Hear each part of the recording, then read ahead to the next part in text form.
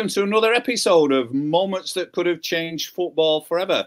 I'm Peter Thornton. I'm with my fellow author, Peter Prickett. Hi, everyone. And our special guest today, and we're really excited about this, we have the chief sports writer of the Eye, Mr. Kevin Garside, with us today.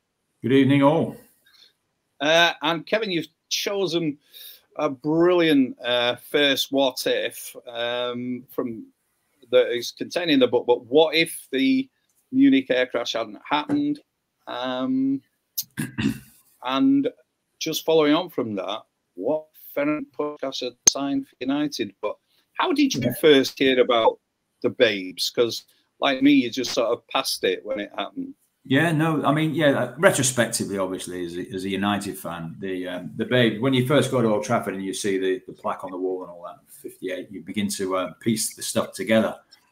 Um, yeah, so I think my first game at United was about 73, I think FA Cup, 73, Southampton it was. I can't remember what round now, but I remember seeing uh, George in the flesh score a goal, um, put two fingers up to the director's box. Um, I think. Uh, Charlton was in, in the team. I think Denis Law might have played. Um, can't remember much about it other than George being brilliant. And I think Southampton scored first that night. So, yeah, so you kind of piece the Munich stuff retrospectively, don't you? Um, and understanding in the end just how significant that was for so many reasons. I mean, I know we passed the, the anniversary this month, but um, yeah, the, you know, the, the the whole story. I mean, Bobby's Bobby's funeral, um, the end of last year, which I attended, uh, brought it all back uh, for lots of lots of attendees, lots of people. Some some um, uh, some still living members, family members of, of those who were in the plane who died, um, but attended the funeral, um, and it was very moving. And yeah, it's amazing what that period meant to, to Manchester, and, and it defined, you know, it defined defined Manchester United, didn't it? The um, the disaster. Yeah, it did. I mean, in, in the book, we sort of touch on the fact that, oh, you know, we, we think that if the crash hadn't have happened, it wouldn't have been Bobby Moore that picked up the World Cup. It would have been Duncan Edwards without, you know, a shadow of a doubt. He'd have been the captain of the, of the England team. But for this podcast, we, we sort of looking at more of the effect it would have had on on United and the challenge they were making to Real Madrid at the time. Yeah. yeah.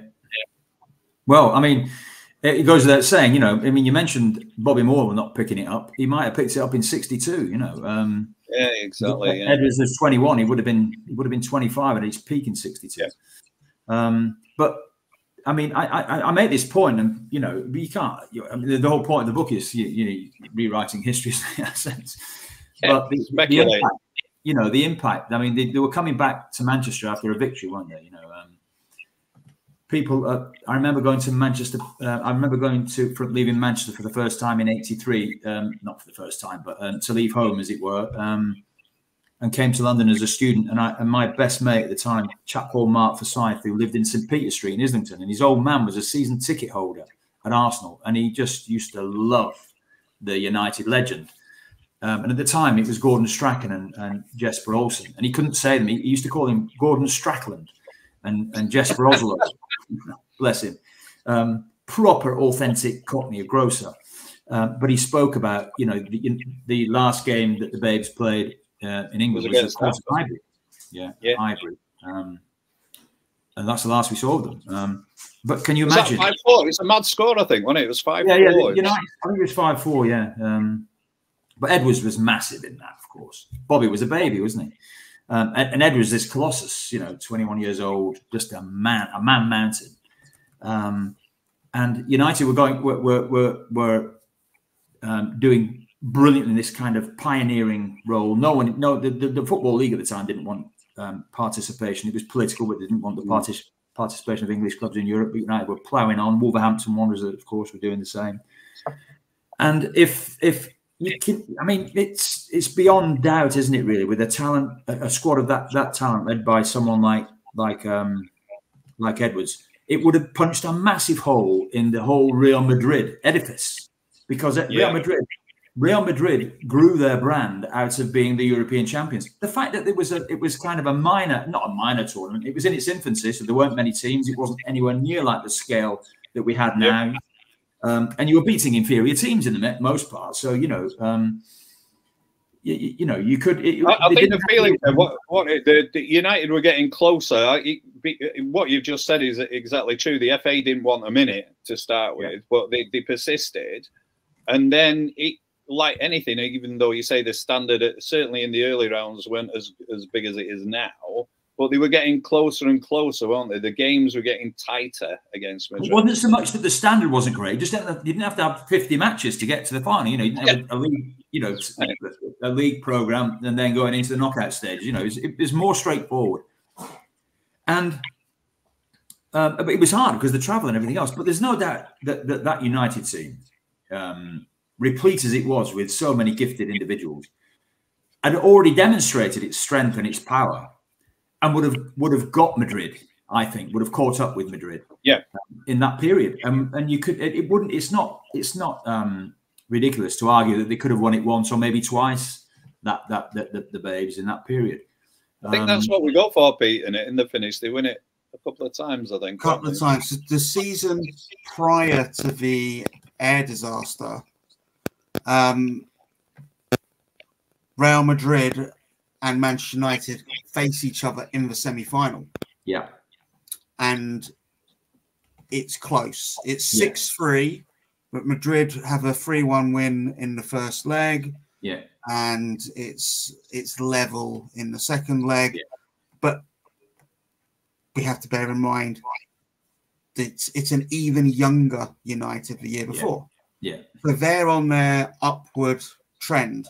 Yeah. And Real Madrid are already a team with very experienced players. So there are potentially on opposite trajectory. They're a more, a more evolved team, aren't they? They're an experienced team. Yeah, um, and yeah. Real Madrid, uh, I think they recognise they're in need of of, a, of an addition, and the season after they go and sign the best goal scorer in European football in Puskas. Yeah. Um, but yeah, undoubtedly, you would assume, which everyone does, the talent is only going to get better, and it's yeah. and they're going to be even closer. So maybe, yeah, Real Madrid did win those first two, but what happens to the next three? Yeah, exactly that, exactly that. And you know, I say it's not an insane argument to to claim that United would have been banging the mix there. Um, and then that changes everything. You know, um, it's not as if I mean, it, it's not as if you know United are, are looking back from this position now are in they're in need of something, but it's not identity, is it? So, um, um, um well, that's true. I, I, think I think it's absolutely true for the competition itself, in as much as if you don't get Real Madrid, Real Madrid, Real Madrid, Real Madrid, Real Madrid, and you do get Real Madrid, Real Madrid, Manchester United, yeah, Real yeah, Madrid, yeah. Manchester United, or whatever. It isn't that kick off for Real Madrid as the brand, is it? You know, no, we, are, we are the European Cup. yeah, and, and, United, I think, but it made United a world brand in a way that you know that, that, that, you wouldn't have wanted to do it that way, but it made them a, a world brand. Um, well, it, it, it made them everybody's favourite second team, didn't it? Well, yeah, and yeah, or first team. If you go, you know, if you wander around London, you know, these days, um, that's the you know, no one comes from Manchester, do they? Because they all support you your lot. except, except you're in our slot now, aren't you? You're in the United slot now. Uh, you get, you've got a matches. City, you know, just, just, an aside, breaking off, but you know, you go, when I go to the Etihad now, I, I, it's just a remarkable juxtaposition of the kind of the blokes our age who, who watch City, you know, when Goater was the goat um, and uh, you know who remember what it was like to play um, in, in, the playoff against Gillingham. Was it in '99? Yep. Yeah. Um, and they have a different feeling of you know the old Kippax brigade and, and what it, you know the old underdog experience. And this, I, I swear, in my in my impression of it is that they still don't really know how, how what to make of all this. you know, this, pet. No, no, it's a really it's a really good point. Uh, and we've talked long, not just about City, but we, we me and Pete have talked long and hard about this about the, the current fan because I was saying if you are if you go to City and you are a teenager, a late teenager, you probably you probably weren't there for the Aguero moment. No, no. You know, if you're if you're 17, 18, you you were like five or six, you probably yeah. weren't at the game. You weren't there, you know, which for us is like mad. Yeah. But you yeah. know, because we not we, only for you, mate. yeah. But you know, because me and Peter, as you know, we're both heavily into coaching. We've talked about like probably the only move that is still registered as with that player is the Cruyff turn. Just something stood the test of time. If you try and coach like what I used to call the Chrissy Waddle, the kids have no idea who Chris Waddle is. No, None whatsoever. No. Who's he? No. You know, and and I think hmm. you know just to bring it back, I think Ferenc Puskas suffers as much as anyone from from. Uh, if you look at his goal scoring record, it is unbelievable. Yeah, you know it just is. And we don't have enough footage, do we, of, of these great players? I would love to know more about Hidegkuti from that team, the 50s, yes. the 58 golden team that didn't win the World Cup, by the way. Um, love to know more about Di Stefano. I mean, I've seen snippets of him. He looks like Bobby Charlton on acid. You know, I mean, he looks, yes. like an even better Bobby. A bit of George Best thrown in, but you know, he dropped that shoulder and fly past people. Um, yeah, love to. Um, Tom Finney, I'd love to know what Tom Finney looked like on the pitch. Yeah. Um, it, it's really interesting because the you know the research we did for the book and the research I did on the National Football Museum. One of the things that I noticed, especially with Tom and with Duncan Edwards, it isn't just their present on the pitch; it's the reaction to the other twenty-one players on it to them. Yeah. That's how you can tell how great they were. The Roy Keane, Roy Keane effect, the Vieira, Patrick Vieira effect. It's, yes, uh, it's how they get others what they get, what, what they drag out of others. You know, Roy wasn't the best player at United by any stretch, um, but man, he got he got five percent more out of everybody else, and that made United yeah. unbeatable. And they were, I mean, United weren't winning like City. You know, they weren't clocking hundred points, ninety points. They were just edging it with 75, 84. Yeah. Um, and, and, and, we needed players to make the difference, and, and it was players like Keane. Well, I think I think it's one of the things that drives me drives me mad about modern football, but City in particular, where the, you know the captaincy gets passed around. I'm not for that. You know, you've just cited Roy. Yeah, Roy's your captain. He gets five percent out of everyone. That's yeah, your captain, yeah. isn't it? That's what he's there for. Yeah, yeah. I think, uh, although you know, it's not. I think you know, the captain in football is less less of a feature. I mean, it's ninety minutes, isn't it? You know, and there's no there's no kind of um, um there's no diplomatic role for the club captain uh, in, in, a sense. Not like cricket, is it? You know, where you're England captain and you're an ambassador for England, aren't you? You know, uh, yes. football, you're just like um, you're out there for 90 minutes with your sleeves rolled up, aren't you? And it's, it's uh, and everybody's less, in. Far less strategic role as well, really. Yeah. yeah. I mean, oh God, cricket, you you live and die by your captain. Yeah, well, yeah, look Ben. I mean, it's, it's Ben Stokes. He's not Roy Keane. I don't know who is. You know. Yeah, um, we were talking about this the other day. You know, who's the who's the greatest living British or a sportsman, uh, English, if you like English.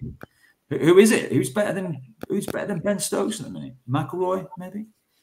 Lewis Hamilton, um, footballer. Uh, yeah, there's very we few can carry the lot like Ben does, is he? Yeah, we're drifting off off subjects a little bit, but um, yeah, it was just. A, I, having been just come back from India, it was um, it was kind of a parlour game we played out there. Well, um, great greatest living until not that long ago was possibly Bobby Charlton. Well, I think probably greatest ever because of again, you know, I, uh, uh, I wrote a piece. I mean, he died, didn't he, on a Saturday, mm. which which fell into the remit of the Sunday newspapers. And of course, you Bobby Charlton. All the great newspapers in, in, in this land have got their obits already stretched out. They've, they've had it written for ten years, and it goes in the paper on Sunday. So if you don't publish on a Sunday, which we don't, we only publish Monday to Saturday, then you've got to do approach it a little bit differently. Um, but the, you know, the, the, there was some brilliant writing about Bobby mm. on that in those Sunday newspapers. Um, but the thing that, that struck me about, about more, as much as anything is just that you know he was kind of he, he wasn't just an English footballer; he was England. He was England yeah. to so many people.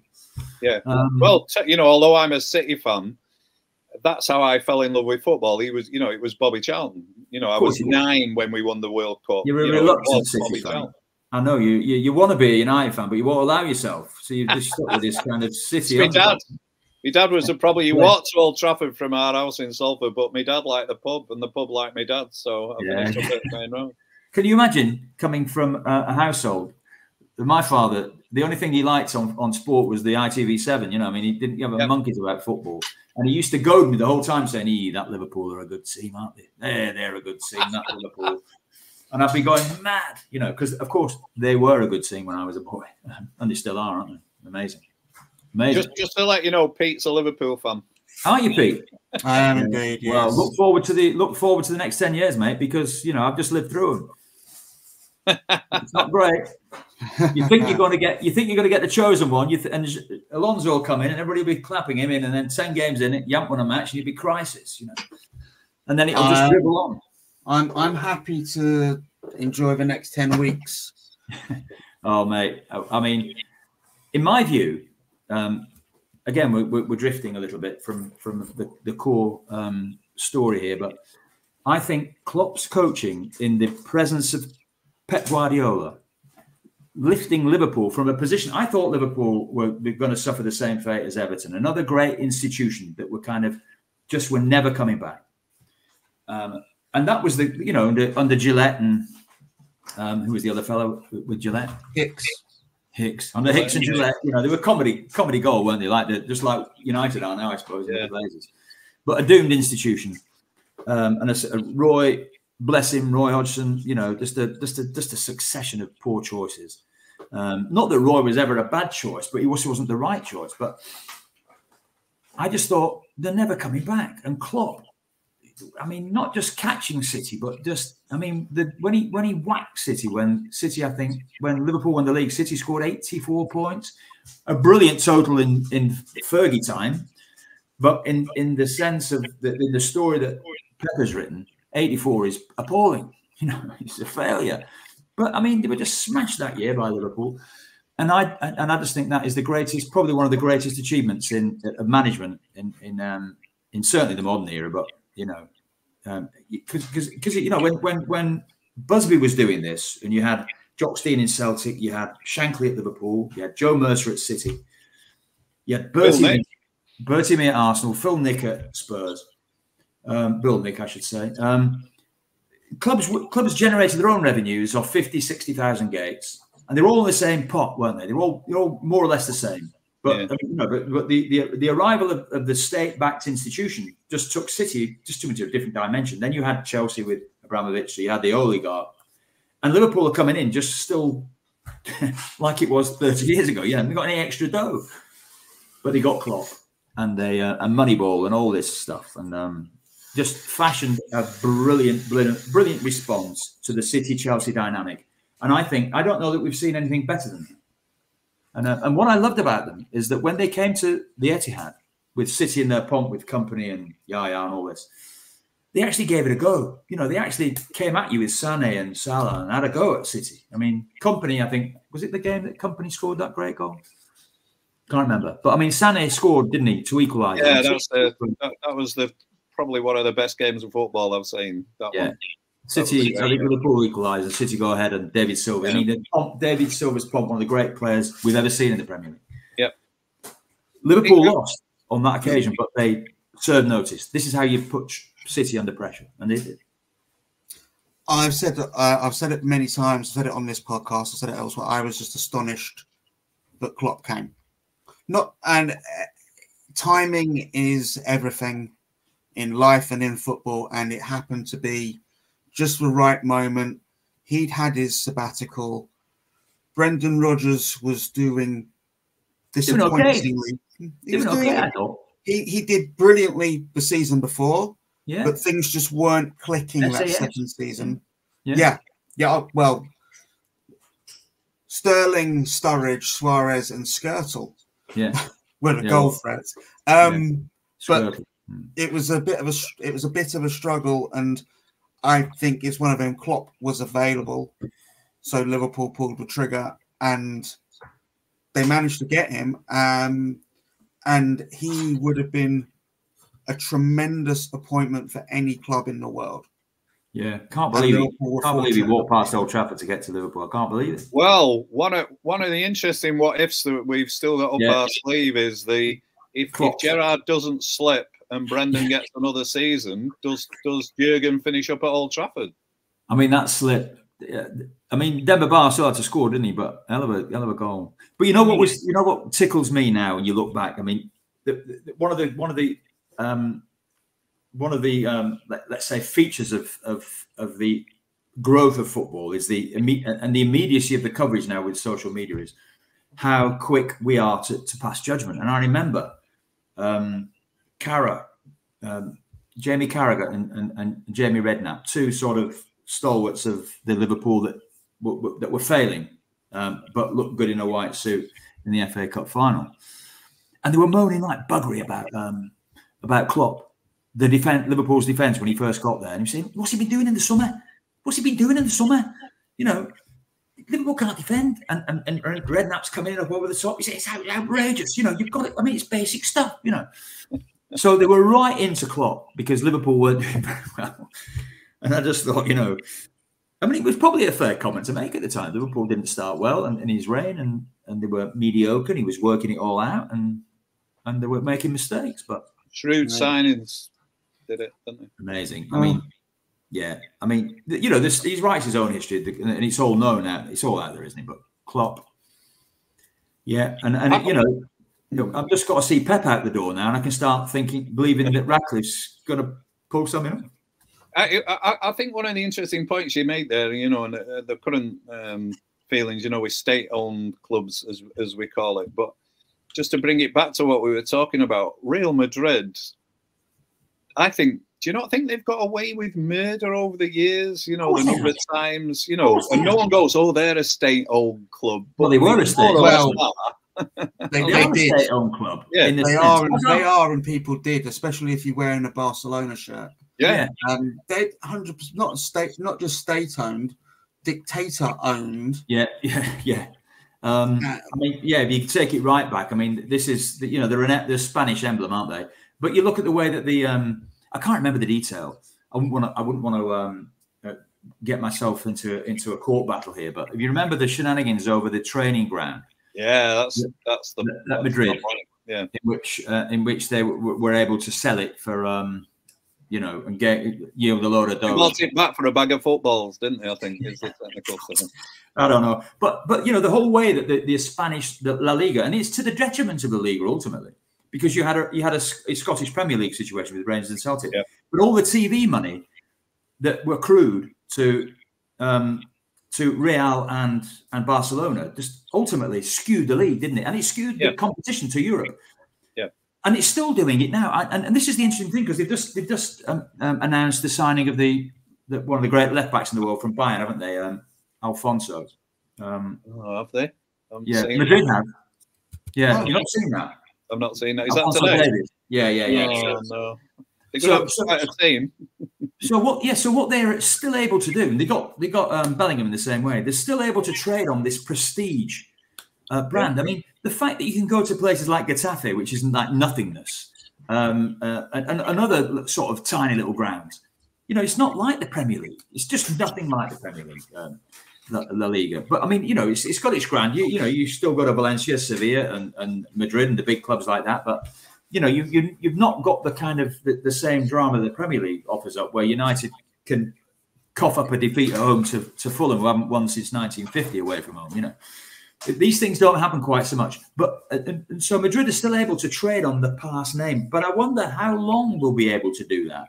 And I think the end. Of, I think the, the beginning of the end of that is probably coming because City in this purple patch, you don't know how many uh, Champions Leagues they can clean up with. Um, you can certainly see him going for four or five easily. I would have thought. Um, yeah, I, I think I, I, think it's really interesting because I think Madrid is, you know, your original point. If you if, you know the, the air crash doesn't happen, Madrid don't win five. How much does that affect their brand right at the start? Massively. So they're not the they're not the European Cup. And then I I genuinely even now with with any player at City, any player at Liverpool, any player anywhere, Real Madrid come in for you as a career, as a footballer, to say you played for Real Madrid is still, I think, the one. Is, would you not agree? Well, yeah, no, I do. And I think, you know, it's like Ferrari, Hamilton going to Ferrari, you know, yeah. it was a boyhood team. Ferrari haven't won the title since 07. You know, how long ago was that? 17 years? Um, and they were lucky to win that. If, you know, if, if, if um, a dossier of, of information hadn't passed from Ferrari to McLaren, then Hamilton would have won that world championship in his first year. Yeah, um, it's still um, it's still one of the the most you know I, I, you can't say that it was taken from him or it was pilfered, but I mean he was 17 points clear with 10 points for a win with two races to go, and you know he parked. He, he parked. it was worse than that. You know, McLaren kept him out for six laps on shot tires in China, and he ended up he ended up sliding sideways coming out of uh, in the pit lane into sand, couldn't get out of it. So there's yeah. ten points straight away. Yeah. And and he had a mystery glitch. I know it's not football, but he had a mystery glitch. Um, it, on, on, on the back straight in, in Brazil in the final race of the season, and all the teams on the safest part of the track, the straightest part of the track, all file past him. And then his engine fires up again, and he's back in the race, but he can't win. yeah. Ends up Kimi Raikkonen. Um, those, those are the sports brands, though, aren't they? You know, massively, well, yeah. Ferrari, yeah. Ferrari are F1 yeah. to a massive extent, and yeah. I think you can say the same of Real Madrid. Real Madrid are the European Cup Champions League to a huge extent. Five, absolutely. five is a huge head start. Yeah, they got, they're, they're, on 14. City yeah. have got some work to do to catch that. Yeah, but there'll be another hundred years, so don't worry. and Pep will still be there in hundred years because he's, he, you know, um, what a fun. I mean, the, the, I'll tell you what was that struck me about this weekend's coverage of um, of the stuff, the post Ratcliffe stuff. And and Pep said, you know, when he came here, you know, he always thought United, you know, in his characteristic language, always thought they would be there. um, but you know, it's it's and he's making the right moves now in the infrastructure these changes that he's making with a yeah, he know, is sports director and all that kind of stuff.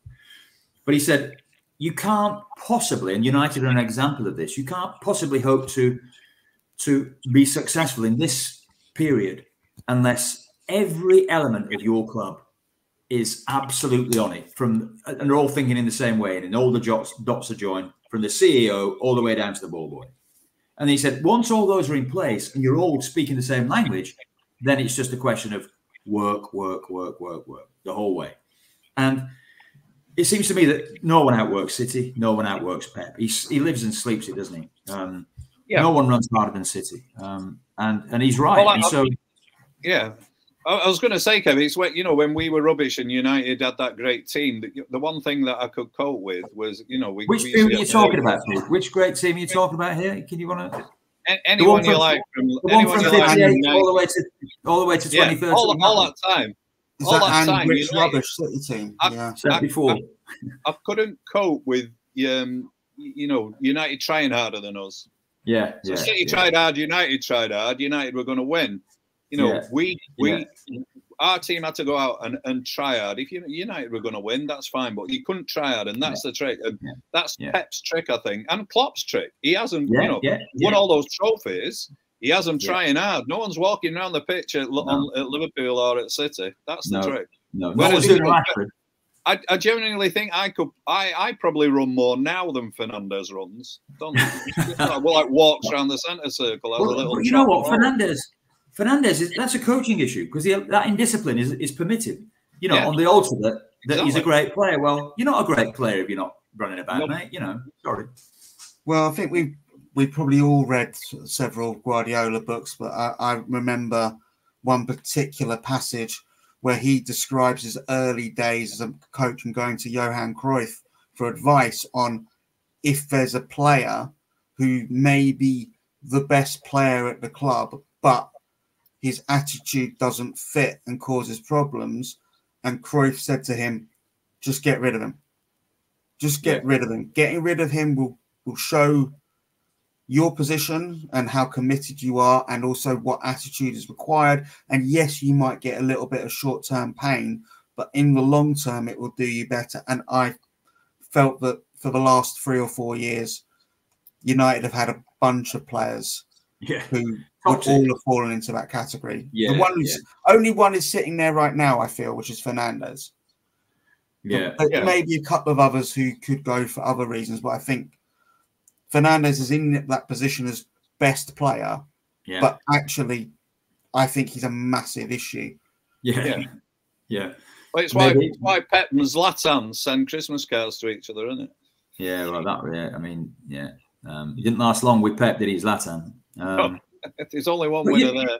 You know, but yeah, you think about um, you think about that, but the way that Fergie, you know, who is like this iron fist, tolerated um, petulance from Eric. Cantona, more than petulance from Cantona. I mean, he bent yeah. over backwards, and he and he bent over backwards to keep Ronaldo for an extra year when Ronaldo was desperate to go to Madrid. Yeah. Um, yeah. And Rooney as well. He begged Rooney to stay when Rooney said he was off. You know, so they'll make they'll make adjustments for the player, and I think that's what tends to happen Um, and that's what's happening at United because, you know, I, I accept all the criticisms that you that you make about um, Fernandes, as they call him in Portugal. But mm. uh, were we not to have him, I mean, the bloke never gets injured. I mean, the bloke's a warhorse. Um, but I just think he needs discipline, and and you know, and for under you know under Solskjaer, him and Rashford played their best football of their careers. Um, yep. Until he flogged them to death. Um, and he, he, you know, and, and maybe that maybe that indulgence was ultimately his ruin. But it's a problem United have to solve one way or another. What if the Munich air crash had never happened? What if Michael Owen had stayed fit? What if Ajax never sold? These are just some of the things discussed in a brand new book, Moments that could have changed football forever. Every what if moment in the book has been chosen to spark debate Buy your copy now online at Amazon or Waterstones. Just to bring it back to where we started off, I, I'm, I am fascinated by the Puskas to yeah. United sort of side Amazing. of life. So we've, yeah. we've done, you know, the crash doesn't happen. United challenged Real Madrid, but that is a hell of a swing if Puskas turns up at United. How do you think he'd have slotted in with that team? Because they didn't have uh, there wasn't a superstar name. They sort of, they were growing into superstars. They've got they've got Duncan Edwards, we've got Bobby. Duncan yeah. was probably a superstar. Bobby wasn't. Eddie Colman wasn't. All those players were not superstars. Puskas yeah.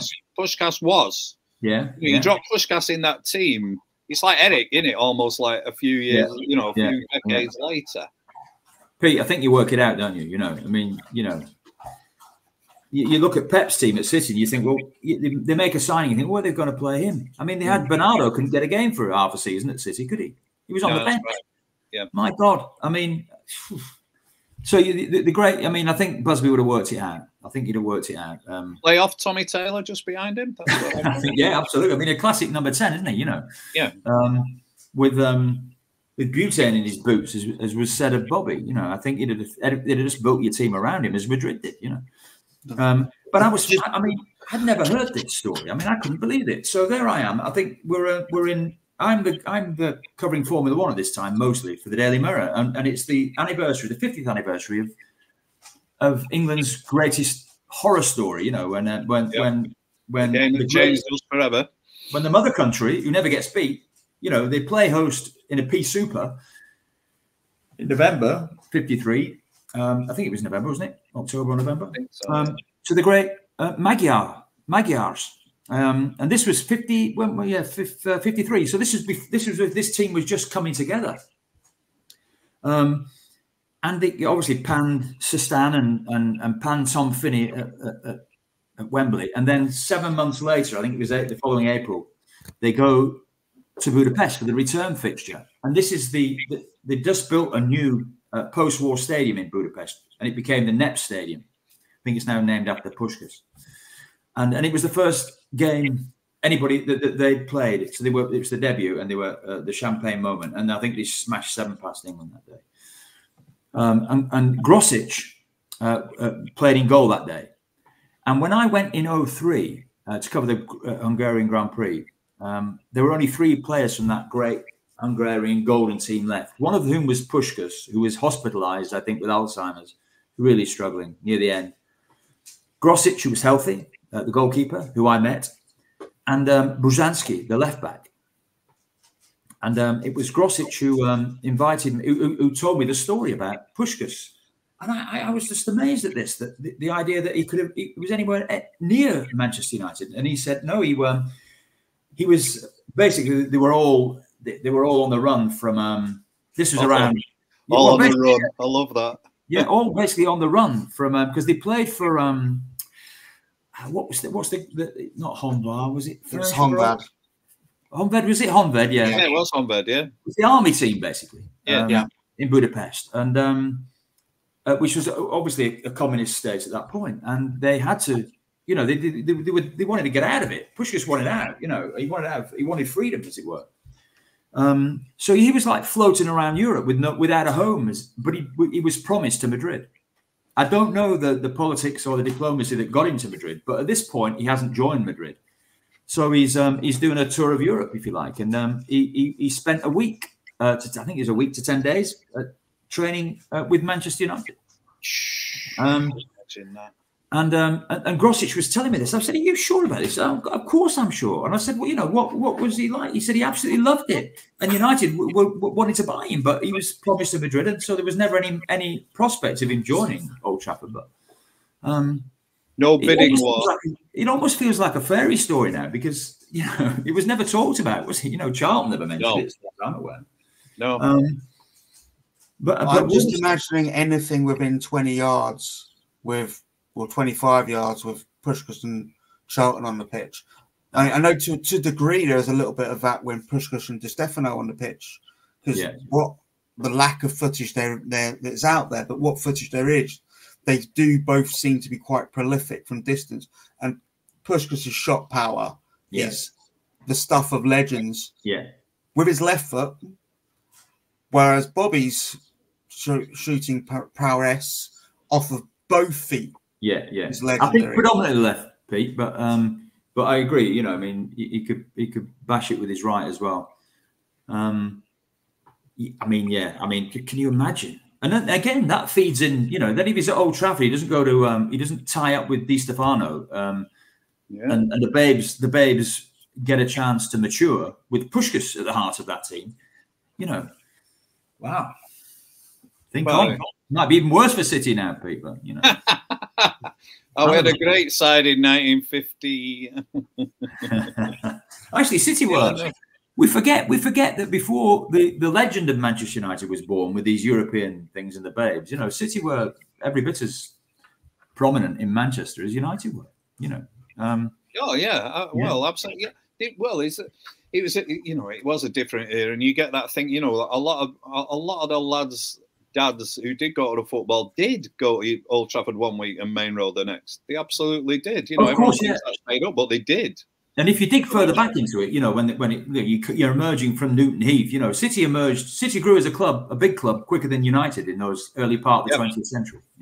Yeah. It's, it's really the, the historian Gary James does a really good um, football historian. Uh, you know, he's City's historian, but he, he's a football historian. And it, he was City's Cup win in 1904 that tipped Manchester into a football city. They were a rugby city up to that. Yeah, yeah. And they, they brought the FA Cup back, and the crowds came out, and it was like, right, you know, that was a deciding, yeah. deciding moment. yeah. But you, you, with me, you know, because Pete's a Liverpool fan, the same when I, I worked on the history of Liverpool and Everton, they, they used to produce one program. So you got Liverpool, you know, if Liverpool at home, the front of it was like it started off with Liverpool, but it'd have the Everton away uh, teams, you know, who Everton were playing at the back.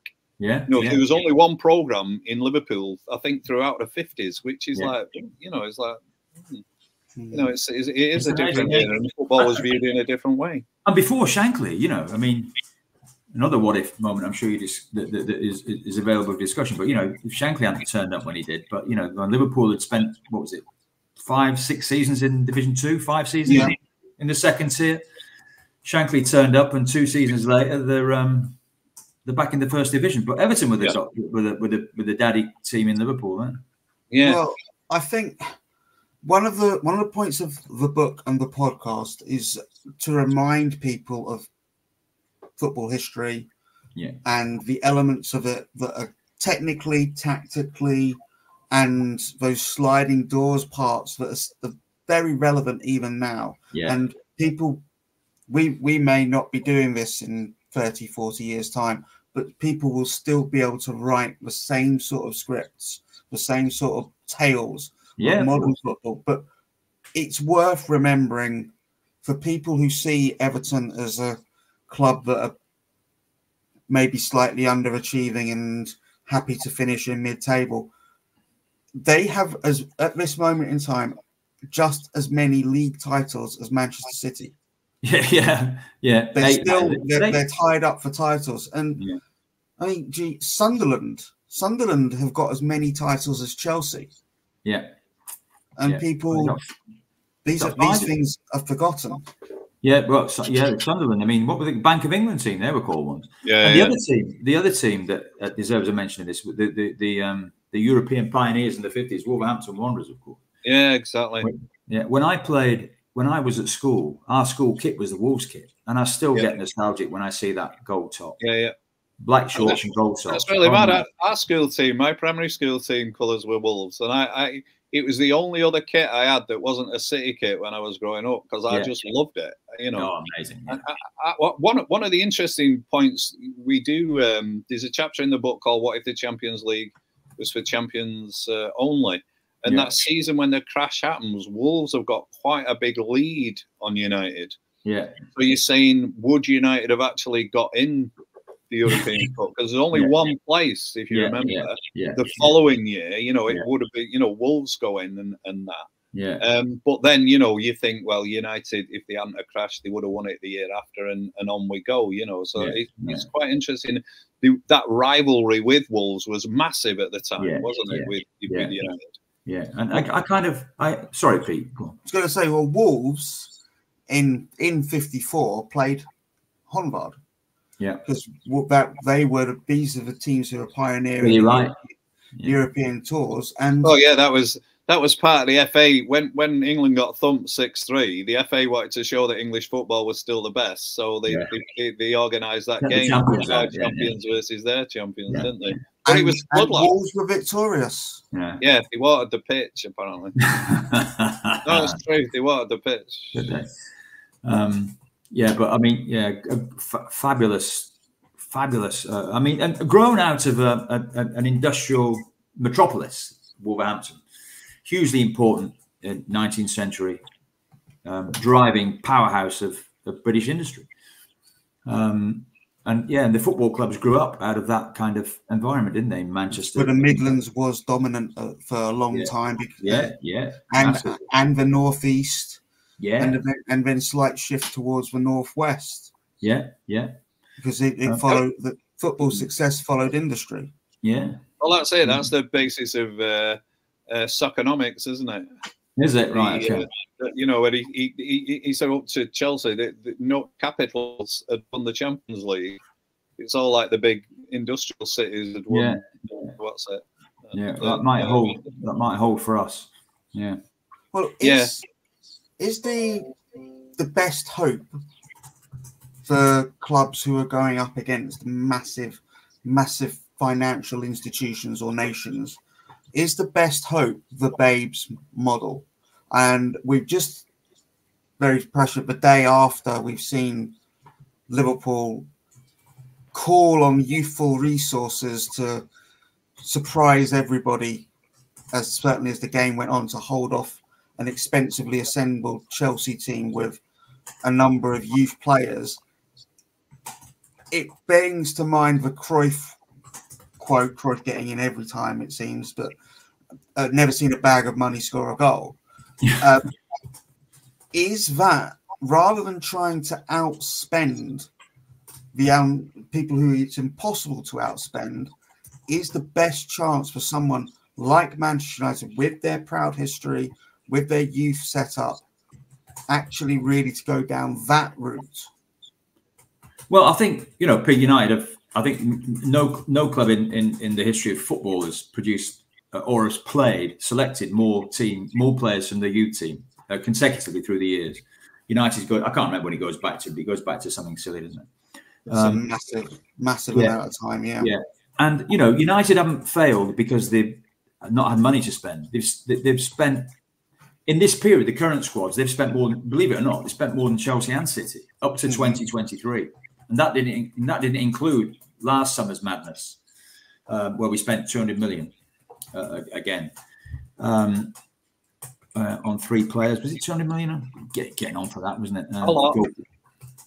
Um, yeah. Um, so you know, United haven't failed because they haven't spent money. They spent over a billion, a billion um, euros, one point one nine, um, in this in this current phase of big spends. Uh, more than City, I think, who were second, and, and Chelsea were third, or Chelsea might be second. I mean, there's not a lot in it. They've all they're all spent a bill, but you know. So the answer comes down to coaching, Pete, and and and the two best teams in this period are Liverpool and City. And hey ho, why? Because they've got the best coaches and the best management structures, infrastructure as clubs around them. Whatever you say about um, about the money ballers at Liverpool, they know the game. They, yeah. they, you know, they don't. I mean, they, they don't know football, but they, they, they've just followed through on a rationale that's placed in key positions people who know what they're doing. And City is, is you know, amazing again, isn't it? Um, yeah. I think it's quite an interesting point Pete makes uh, about the, the youth team structure. And I think people are cottoning on to the way City do it. If you look at Chelsea like five, six years ago, they've got about four teams worth of players out on loan. Yeah. What City do is they buy people. They don't send them on, out on loan. They sell them with a buyback clause. Yeah. You make more money out of that academy. They make like 40, 50 million every yeah. year. And this is out of the academy. Is, and this is important when it comes to um, profitability. Yeah, profitability and sustainability rules. This new classification that's replaced FFP, and, and this is why United are struggling because they buy big, pay massive wages, and, and can't get rid of them. You know? Yeah, there's a, well, there's there's a, one of my best mates who's a big United fan. He rattles on about how cheaply United sell the plates, like Jimmy Garner to Everton. Oh God, yeah. I mean, you know, loads of it. And this is this is I think this is the the kind of the impetus toward um, in the summer that could easily see um, Greenwood. Uh, I mean, this, there's a, a huge political um, yeah. movement around around, and quite rightly so around Greenwood. But Rash, you know, I mean, and they're both academy products. Um, Greenwood, you know, I think he'll go for a few quid because he's a good player. Um, and, you know, and, but Rash has got a massive wage too. So you've got the massive wage, and you've got academy players, and they go for big dough. Then the FFP, that's FFP gold, isn't it? You know, I I can't see Marcus staying. I just no. can't. You just look at his body language, oh. and and the difference between his body language when he does play for England. He, he's not oh, been great for England, but his body language chalk and cheese when he plays for United, isn't it? Absolutely, yeah. Although it has got better since Ratcliffe arrived. But you know, you saw the way that Ross Barkley walked around him at, at, at, at Luton. Yeah. Um, and that went viral, that didn't it? You know, and, and you yeah. know, what a shame. I mean, you, you could argue that, that, that his contribution to English football, there hasn't been a greater one, given the U-turn that he forced on the British state over the oh, education, oh, over, over, the feeding Absolutely. of school children during COVID. You know, he got that muttonhead Boris to turn around and say, you know, mea culpa, yes, of course, we'll feed children. Um, I don't know that any footballer has ever achieved anything like that. So well done, Marcus, for that. And, and he'll always be a hero for that. But I yeah, feel absolutely. that he just, just just that line, Kev. Of course, we'll feed children. yeah, yeah. this is I mean, this is a politics show, but yeah. you need to put a footballer to, to make him see the line. You know. Yeah, absolutely.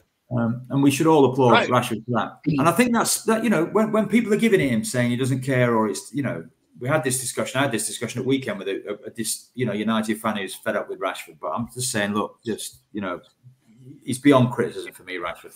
You know, yeah. I, I, think he's had an appalling season, but I think he's got, you know, who knows what these players suffer behind the scenes. You know, he's been he's splitting up with his girlfriend last summer, and then he's not splitting up. I mean, I split up with a girl many many years before I met my wife, and I, will tease her about this. But you know, and I was like, I was smashed for about six months.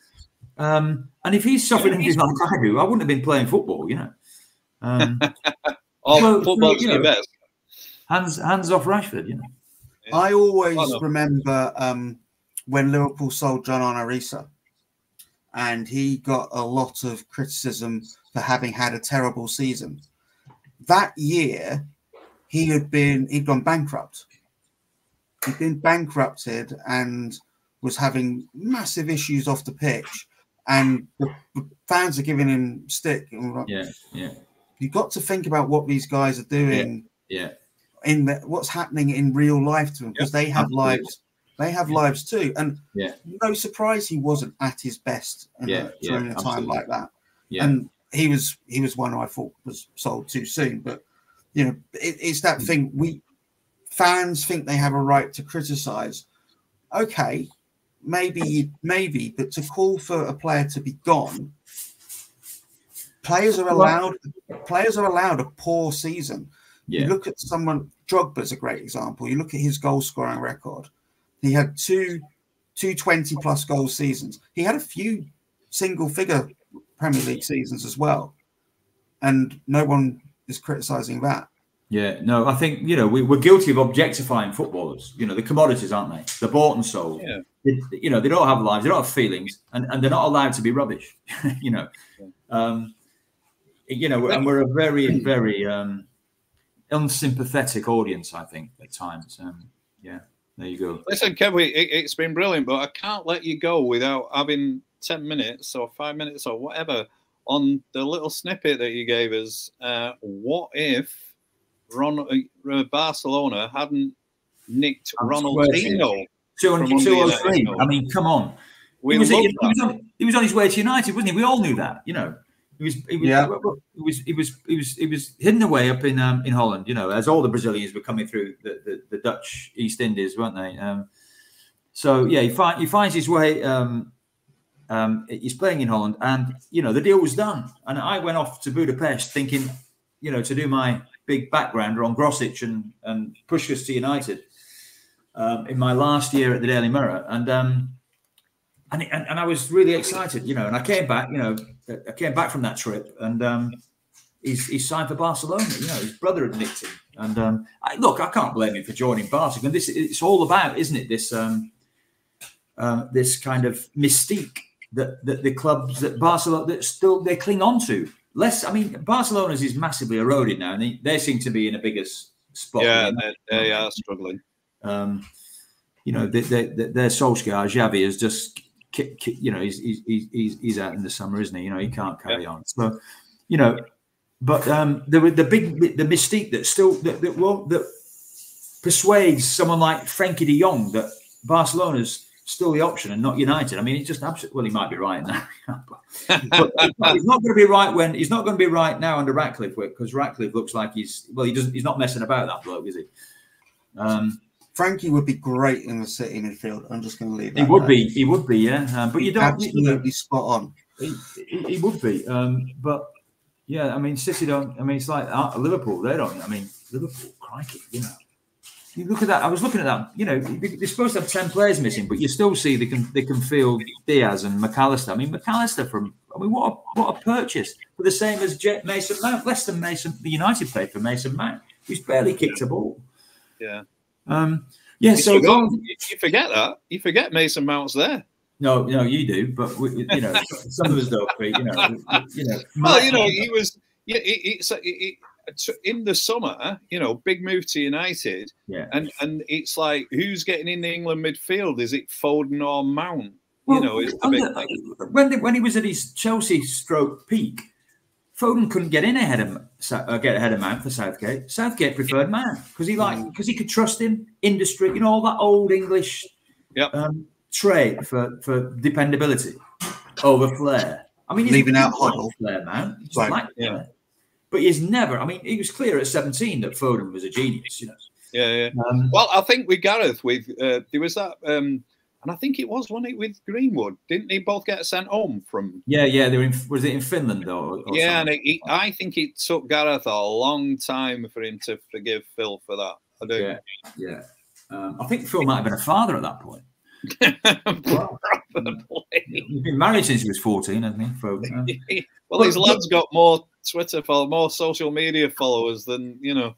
but can, can people, you can you imagine uh, a, a, Ronaldinho inspired Manchester United? Is there ever a footballer more fitted for, for United? No, that's, that was going to be my point. Yeah, he, he's not beyond Eric, isn't he? If, Well, if he goes United, yeah, I mean, I think Eric was, yeah. I mean, I think he would have had problems because he'd have been in the nightclub. He'd have been, he'd have been eating. George. Been eating it'd have been George too, wouldn't it? It'd have been George too, yeah, absolutely, yeah. But it'd have been it'd have been uh, you know volcanic. Um, and there was a period, wasn't there, when um, remember that when game when Barcelona won at the Bernabeu and he scored, and they were just goal, yeah. just unplayable. Um, I in always remember that one at Chelsea. That that goal he scored at Chelsea, there was Yeah. more, more, you know, that they call it the futsal finish, you know, but it was like, whoa, Yeah. what's he just done? You know, you could hear that gasp. You always know it's a great goal when you hear, you don't hear a cheer first, you hear a, oh, yeah, yeah, yeah, yeah, a Brett, ground, you know. It's like goes like a library for a split second, but Yeah, it's like what for just seen. Oh. and we've, we've and and in this kind of post in this in the messy period that obliterated everything that came before it at Barcelona, you forgot you forget how good Ronaldinho was. Um, I mean, I think he came into the team at the same time, didn't he? Uh, just at the end of Ronaldinho's career, Messi slipped in at the same Yeah, towards the end, yeah. yeah. Just, I'm just having a little click around and checking the United squad. And 2003 would have been about the time for Ronaldinho. Um, it does look like they managed to get Eric Djemba-Djemba instead. Yeah, yeah, But yeah. yeah. Clever. they also they also that summer parted company with Beckham and Veron, Yeah, yeah, but they brought in someone called Cristiano Ronaldo. yeah. Now, Yeah. Cristiano, I suppose he was very young. I, I'm going to assume that the presence of Ronaldinho would have made little difference re- in reality because Cristiano wasn't a bona fide Hey, superstar hey. at the time. You don't think you don't think Rooney, Ronald, Ronaldo, and Ronaldinho could, couldn't have played in the same team? No, I think they could have done. That's what I'm saying. I think they could have done. And I, so often we think about the knock ons and a player coming in. Would it have stopped someone else from flourishing? Yeah, But in this in this case, I don't think that would have been Ronaldinho being there wouldn't have stopped Cristiano because yeah. yeah. No, I take your point. still establishing Yeah. himself. A what if? It's not as powerful a what if moment Yeah, when you consider what they achieved with Rooney and Ron- Yeah. Pete Rooney and Pete Ronaldo. But don't forget, I mean, Rooney came after they sold Beckham, didn't they? They did all the money, and that, that was my big advocacy at the time. I said, look, let you know, and Beckham went, just do all your money on Rooney, and they did. Thank God, you know. Um, but um, yeah, what was I can't United still had that pull then, though, didn't they, Kev?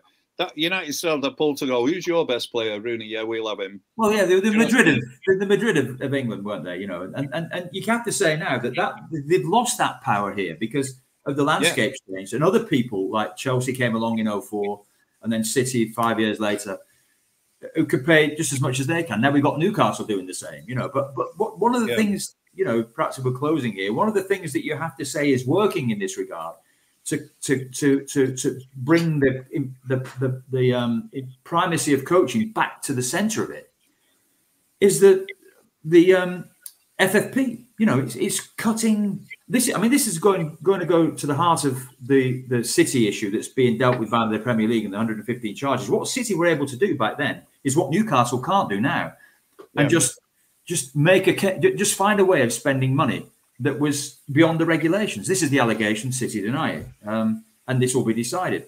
But it's certainly the scrutiny now on clubs is so great that it's just. I mean, Newcastle can't buy their way to Yeah. where they would be able to. Simple I- as. But the, the thing that you know we can argue forever about the rights and wrongs of it, but it, to me it just feels totally wrong that Manchester United were had to bring in last season Burnley's centre forward on loan. You That- thought, yeah, I thought you'd be laughing at that. I mean, he was, yeah. Mean, like, what is going on? I mean- just nonsense, isn't it? it was it was the funniest thing because I mean, he, I love the fact that he was always in there having a go, you know, but he was just so incapable of full of filling that shirt, you know, and he, he. Well, he, did, he looked like he'd won a competition, didn't he? yeah, absolutely, yeah. Uh, comedy. I mean, but this kind of summed up the kind of the, the madness. But it, when we've not just him, you know, we've United have had a few. I mean, we've just brought in a host of like. I mean, you could just say Casemiro and Varane are the- are this now, but we had um, we had Ighalo in the team. Don't forget. Um, we had Ibra, who was who, who, best years were behind him, um, and we had the great Uruguayan whose name escapes me. He was um, Cavani. yeah, Cavani scored a few. But this was just like nuts, wasn't it? You know, what were they doing? Bringing There was no plan, was there? There there was no, plan. Just- yeah, no, just No plan. I think the no plan thing's relevant because a very similar signing that you'd have thought, how on earth has that happened? Barcelona, they brought in Luuk de Jong Yeah. up to play up front for them. Very, very similar. And Yeah. I think it does tie into this. yeah, We're yeah, scrabbling it out a bit, and we Yeah, need, yeah. You know, we, Yeah. we need to find something. No yeah, yeah, no, yeah. You know, he's um, bang average. He is. Yeah, absolutely. Um, yeah, United swerved one there. Um, anyway, there we are. What- Do you think? So finally, I'll just ask you. You think Jim's going to do it? Think Yeah, I he'll do. Yeah, I do. Yeah, I do. Only because if you look, this bloke's ruthless. I mean, just just think about this. He's a he's a graduate of um of chemical engineering, and his first fifteen years he spent postgraduate postgraduate in industry, working for I think it was BP, Shell, and, and another company. I think. Um, so you know, he's working now as a wage labourer. It might have been you know earned a few quid because he's got a degree and everything else, and he's an engineer, etc. He knows a bit about industrial chemistry. But then he worked, went he went to work for a, an, an- an investment bank, That's when he made his money. This is when Jim Ratcliffe becomes a, a wheeler, a trader, a wheeler dealer, and he builds his own business. He, he, does a management buyout of an old part of the industry that I think it was BP had just got rid of, and he went and bought it for 40 mil, sold it five years later for 90 mil, and now he's moving. This bloke's not messing about. And Ineos is like, I mean, they're ferocious out there in the bit. I mean, he's built all the way up. Um, there are massive players in, in petrochemicals. He's Britain's richest man. He's ruthless. He's, he's ruthless. The idea that he's, and, and also, don't, he's not coming in here as a kind of evangelistic fan. You know, I, have got a load of money, I can buy, you oh, know, a bit of fun here. He's thinking like the Glazers are, that we're only at the start of this explosion of football into the entertainment space. Yeah. They're looking at all sort United's fan base and how they make money out of all that. Yep. And and Ratcliffe's in it for that too. You know, he's already yeah. trying to get the government to build a new ground, right? So, you know, he, he's going to try everything, but he but he, but he knows how business works and he knows how operations cling together, and he's already spotted the failings at United straight away. Yep. And he's and he's taken he's taken the, the steps to move them forward. And these yeah, are yes. three three good off, off three really good off the pitch signings. And Pep has already remarked that without that, nothing works. You know, yeah, even Pep, Pep at United would be a failure. He might get, him, he might, might be a bit better, but you know. So I think, yeah, you to answer your question, I, am optimistic that we're, we're, we're, we're on the way back. Yeah, but I, I don't know that that that, Pep, that Ten Hag's got an earthly, um, given the evidence of what we've already seen. Um, for, think, for added optimism, that background has some ringings of similarity to one John W. Henry. yeah. They know how to make money. They know how to, they know how to make a business tick. They know what works. Yeah. And, and he's already saying, look, you know, we're not going to pay Casemiro. We're not going to buy this bloke for 30 years old and give him 300 grand a week. Are you mad? No. Yeah. They're, we'll I mean, it's amazing, isn't it? When when you when when players move from, let's say, Newcastle, and you can see how, how little um, earns at Newcastle. I mean, it's just, it, it's not a big sum. Um, this is the start. City, City. You know, I think only I think KDB is the the most the best played player in the Premier League, and something like 400 grand. But I mean, he wasn't that to start with. No. Um, and you can see when, when how much Mane earned, uh, Sadio Mane earned at Liverpool. It wasn't a massive sum, was it? No. That's why Salah, Salah yeah. when he came in, yeah, he was far. Well, they they broke all of their their um, wage structure to, to retain him. Yeah. Yeah, to retain him. Yeah, yeah. Yeah, but him, yeah. initially nowhere near it. Yeah. So I think he's trying to drive that stuff down, and he's just he's just going to have a sensible approach. And I think with the right people in charge to identify the right, you know, the right culture, to put the right culture in place, the culture that's at Anfield, the culture that's at, um, at the Etihad, and it, but you know, the idea of a new stadium, I think, is just the most apposite thing because it's like a here we go, fresh start big yeah. statement again, and it puts United right back where they they think they ought to be in this legacy institution, yeah. leading and, and, brand best in class, all that stuff. Which City have nicked, Liverpool have clawed back, um, and Chelsea, you know, I don't know what Chelsea are doing. Does anybody know what? no. oh dear! And on that bombshell, Kevin, yeah. it has been an absolute pleasure to have you on. It. I think it's the first time in the podcast We've oh, had and slid into the gravel, sand gravel pit uh, mentioned, but it's, bit of, it's bit of really, for you. Yeah, yeah. We, we touched every, every base there. It's been an absolute yeah. pleasure, and thank you very much. A rainbow program. Thank you for um for inviting me. Lovely to to um have this discussion. What a game! Yeah. What a great game. Yeah. We're all friends. We're, still, you're the enemy. You are the enemy, but we're still friends, which is as it should be. Cheers, Kev. Thank Thanks you. a lot. Take care. Bye bye. Bye. Bye, everyone. What if Brian Clough had managed England? What if Ronaldo and Messi had played together? What if Pep Guardiola managed in League Two? These are just some of the things discussed in a brand new book, Moments that could have changed football forever. Every football fan has a what if moment that they know would have brought their team glory if things had turned out differently. Every what if moment in the book has been chosen to spark debate amongst football fans. Buy your copy now online at Amazon or Waterstones and let us know what's your favourite what if moment in football history.